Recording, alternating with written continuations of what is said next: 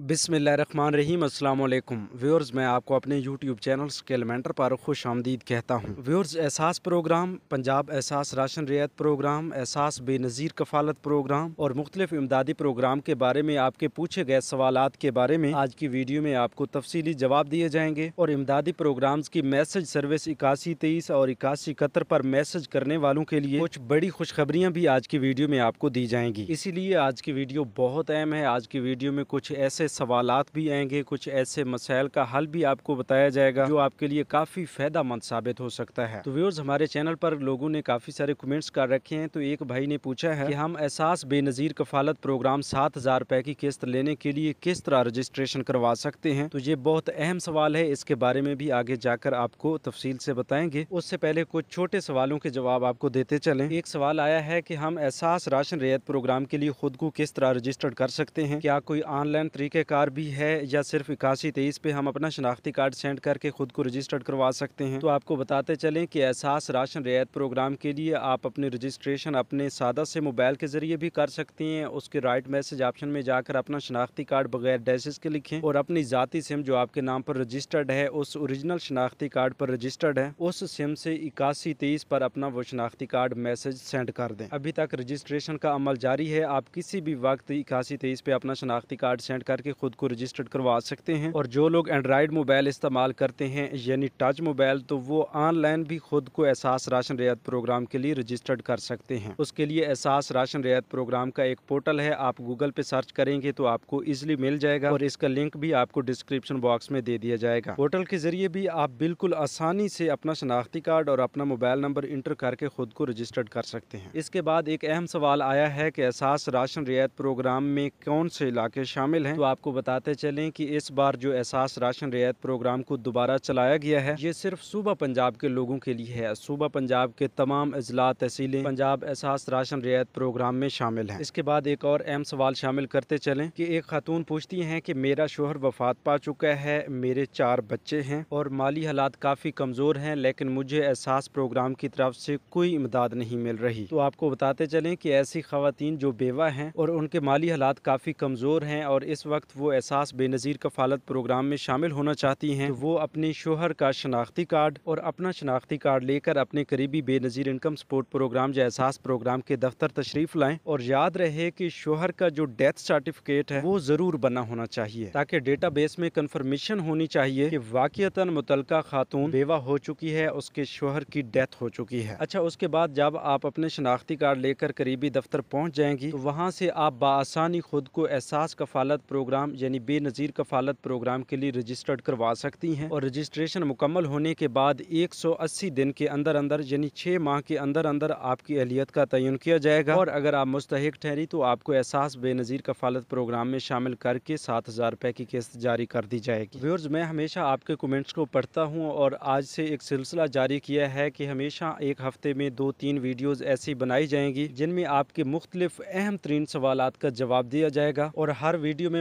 मुकर हद तक सवाल शामिल किए जाएँगे और इसके साथ साथ इस बारे में आपने राय ज़रूर देनी है कि आपके दिए गए मुख्तलिफ़ सवाल को आपके नाम के साथ वीडियो में शामिल करना चाहिए या नाम के बगैर। और आपने ये भी बताना है कि सवाल जवाब का ये सिलसिला गलत है या सही है, ताकि इस बारे में हमें राय मिल सके और हम इसको मजीद बेहतर बना सकें। इसी तरह अगर आप भी अपने मसले का हाल जानना चाहते हैं, अपने सवाल का जवाब जानना चाहते हैं तो आप जल्दी से स्किल मेंटर यूट्यूब चैनल को सब्सक्राइब कर लें और वीडियो के कमेंट सेक्शन में सवाल लिखें। इनशाला आपको बहुत जल्द ज़रूर जवाब दे दिया जाएगा। अच्छा व्यूर्स हम अपने सिलसिला की तरफ़ आते हैं। एक भाई सवाल पूछते हैं कि मेरी वाइफ को आज से तकरीबन तीन चार साल पहले बारह हज़ार रुपए की एक किस्त मिली थी, उसके बाद अभी तक कोई इमदादी रकम नहीं मिली। और जब हम स्टेटस चेक करते हैं, इक्यासी इकहत्तर पोर्टल के ज़रिए अपना शनाख्ती कार्ड चेक करते हैं तो हमें बताया जाता है की आपका रिकॉर्ड मौजूद नहीं है। तो इस हवाले से आपको बताते चले की एहसास कफालत प्रोग्राम में जिन लोगों को शामिल किया गया है, उनका स्टेटस इक्यासी इकहत्तर पोर्टल पर भी अपडेट कर दिया गया है कि वो अहल हैं या नाअहल हैं या फिर जाँच पड़ताल में हैं। तो इसी तरह ये जो भाई बता रहे हैं कि हमें बारह हज़ार रुपये की एक किस्त मिली थी, उसके बाद हमें कोई रकम नहीं मिली और हमारा जो स्टेटस है, वो भी इस तरह आ रहा है कि आपका रिकॉर्ड मौजूद नहीं है। तो ये जो आपको बारह हज़ार रुपये की किस्त मिली थी,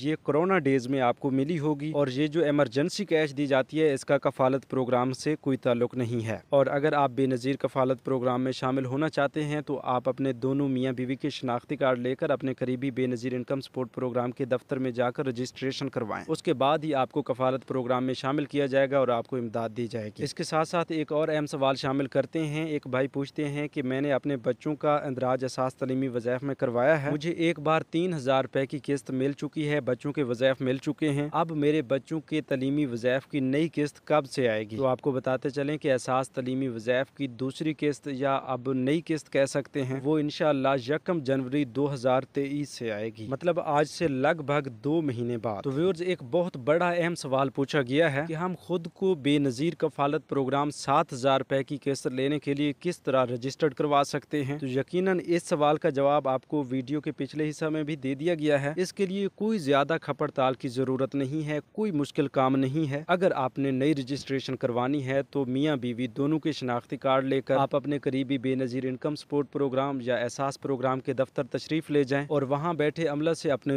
रजिस्ट्रेशन करवा लें। और हाँ एक अहम बात आपने याद रखनी है कि रजिस्ट्रेशन करवाते वक्त आप अपना ज़ाती मोबाइल नंबर इस्तेमाल करेंगे, जो आपसे पूछा जाएगा, और साथ ही एक ऐसा नंबर देंगे, जो आपके पास हर वक्त चलता रहता है। और इसके साथ साथ जो अहम तरीक़ेकार है, वो ये है कि आप जब रजिस्ट्रेशन करवाते हैं तो आप अपनी करेक्ट मालूम दिया करें। जो भी मालूम आपसे पूछी जाती है, आप उसमें कोई गलती ना किया करें। तो इसी तरह जब आपकी रजिस्ट्रेशन कंप्लीट हो जाती है तो उसके छः माह के अंदर अंदर आपको जाँच पड़ताल के मरहला से गुजारा जाता है, और फिर आपकी अहलियत का तयन कर दिया जाता है। अच्छा व्यूर जिसके साथ साथ आपको बताते चलें कि जिन लोगों ने एहसास राशन रियायत प्रोग्राम की रजिस्ट्रेशन के लिए इक्यासी तेईस पर अपना शनाख्ती कार्ड सेंड किया है, उनके लिए बड़ी खुशखबरी ये है कि इनशाला तेईस नवंबर यानी ट्वेंटी थ्री नवंबर को उनके मोबाइल नंबर पर मैसेज भेजे जाएँगे, जिसमें उनको बताया जाएगा कि वो अहल हैं या न अहल हैं। उसके बाद अगर वो एहसास राशन रियायत प्रोग्राम के लिए अहल हो जाते हैं तो ट्वेंटी थ्री नवंबर से उनको एहसास राशन रियायत प्रोग्राम की सब्सिडी मिलना भी शुरू हो जाएगी। और वो लोग जो एहसास, कफालत प्रोग्राम की तरफ़ से कुछ अर्सा पहले नाअहल हो गए थे या जाँच पड़ताल में थे, उनको इमदाद नहीं मिल रही थी और इस बार अप्रैल 2022 के दौरान उन्होंने इक्यासी इकहत्तर पर अपना शनाख्ती कार्ड सेंड किया था। वो तमाम लोग अपना अकाउंट ज़रूर चेक करवाएँ। आप अपना अकाउंट अपने करीबी रिटेलर से या जहाँ से सात हज़ार रुपए की किस्त मिल रही है, वहाँ से चेक करवा सकते हैं और उम्मीद की जाती है कि उनमें से सत्तर परसेंट लोगों के अकाउंट में सात हज़ार रुपए की किस्त आ चुकी होगी। क्योंकि ये जो अपडेट कुछ अर्सा पहले दी गई थी, इक्यासी इकहत्तर सिर्फ़ उन लोगों के लिए ओपन किया गया था कि जो लोग नाअहल हैं या जाँच पड़ताल में हैं और वो अपना शनाख्ती कार्ड इक्यासी इकहत्तर पे सेंड करें तो अब जो है उनका स्टेटस तब्दील कर दिया गया है। वो इक्यासी इकहत्तर पोर्टल पर भी अपना शनाख्ती कार्ड चेक कर सकते हैं। उम्मीद है कि इस महीने के अंदर अंदर उनकी जाँच पड़ताल का मसला भी खत्म हो चुका होगा और वहाँ पर उनकी अहलियत के बारे में साफ़ साफ़ बता दिया जाएगा। तो व्यूर्स आज की मालूम आप तक पहुँचा दी है। उम्मीद है कि आज की मालूम आपको पसंद आई होगी। इसी तरह जो लोग मसाइल का शिकार हैं, वो अपने मसले हमें कमेंट्स में बताएँ। इंशाल्लाह हमारी पूरी कोशिश होगी, हम आपको ज़रूर जवाब देंगे और आपको आपके मसले का हल ज़रूर बताएँगे। इसी तरह अगर आज की वीडियो आपको पसंद आई है तो वीडियो को ज़रूर लाइक करें और मज़ीद नई मालूम के लिए चैनल को सब्सक्राइब कीजिए और हमें दीजिए इजाज़त। अल्लाह निगेबान।